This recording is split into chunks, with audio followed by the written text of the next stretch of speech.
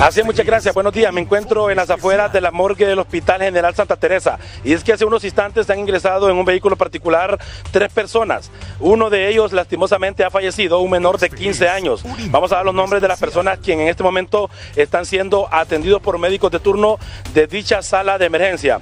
Los que están siendo atendidos, Erling Santiago Ramos y Elvis Jesús Ramos. Lastimosamente aquí en las afueras de la morgue, bueno, estamos a la espera del Ministerio Público para que vengan a realizar el levantamiento de este menor de 15 años quien lastimosamente ha muerto. Estamos hablando de que en vida respondía al nombre de Jackson Javier Orellana Medina de 15 años.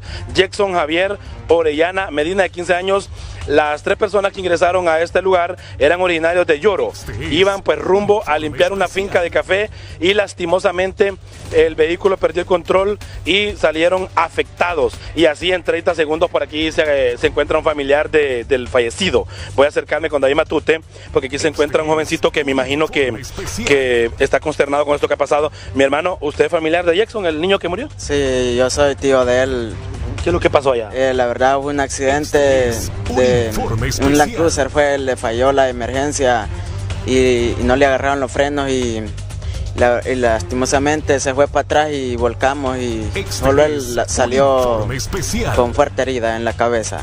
Ah, los otros solo fueron en el tobillo, una, un golpecito en la rabadilla y solamente. ¿Usted venía en el vehículo? Sí, éramos ocho.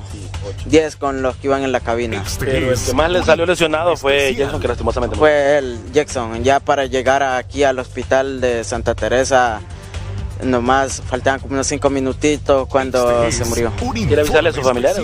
Eh, sí, la verdad, quisiera avisarle hasta Lloro, Zulaco, este, hasta, Sa- hasta San Antonio, Zulaco, Lloro, que, que un aviso porque se murió el, el, el sobrino mío, Jackson Javier Orellana Medina, y, y a- para que estén atentos ahí a la noticia.